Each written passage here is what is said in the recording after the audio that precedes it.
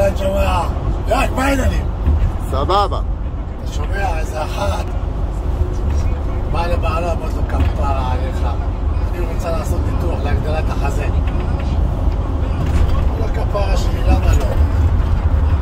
תקחי נייר טואלט, תעבירי פה בחזה, ואני מבטיח לך, החזה יגדל. אמרת לו כפרה עליך, אתה בטוח שזה זה באמת זה מה שזה יעשה? אמר לה כן, תראי, חמש שנים את מנגבת לתחת שלה, תראי איזה נזירה באה לאם המנזר, בריצה. אם המנזר, אם המנזר, אנסו אותי, אנסו אותי, אנסו אותי. שלוש פעמים אנסו אותי. אומרת לה, לא יודע מה לעשות. אומרת לה, קודם כל תירגעי, ותשתי כוס מיץ לימון.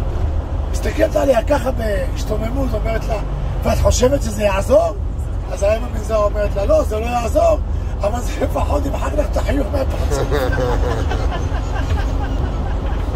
שמע, you forever.